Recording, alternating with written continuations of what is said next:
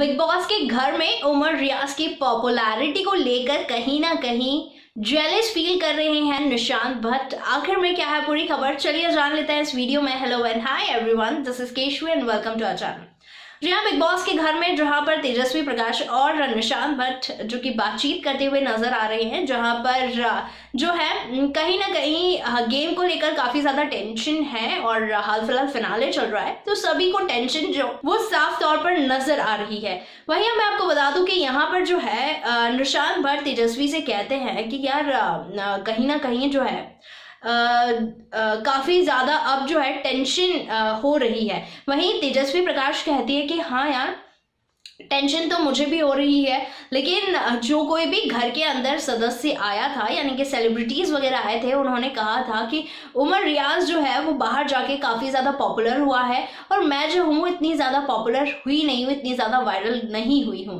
तो यहाँ पर कहीं ना कहीं इस चीज़ को लेकर टेंशन है, वहीं निशांत भट्ट एग्री करते और कहते कि हाँ उमर रियाज काफ़ी ज़्यादा पॉपुलर हुआ है, और हम लोग तो आ, क्या ही कर रहे हैं? हम लोग हम लोग का तो सारी चीज़ें जो है धीमे धामे चल रही है। हाल फ़िलहाल फिनाले में पहुँच गए हैं। अब टेंशन है कि आखिर में क्या होता है ग्रैंड फिनाले वाले दिन।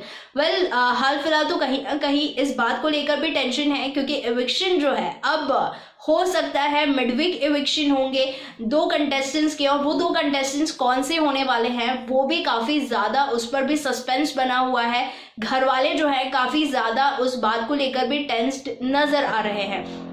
वही जो है निशान भट्ट यही कहते हुए नज़र आते कि यार, उमर रियाज जो है, वो काफ़ी ज़्यादा पॉपुलर गया है। वहीं बात करो उमर रियाज की तो उमर रियाज को हाल फ़िलहाल भी काफ़ी ज़्यादा सपोर्ट मिल रहा है। और कहा जाए तो बिग बॉस थर्टीन के जो हिंदुस्तानी भाव है उन्होंने भी उमर रियाज को सपोर्ट करते हुए ये चीज़ें लिखी है कि अगर बिग बॉस के घर में उमर रियाज होता तो वो पूरा पूरा ट्रॉफी का हकदार था और वही इस सीज़न को जीतता।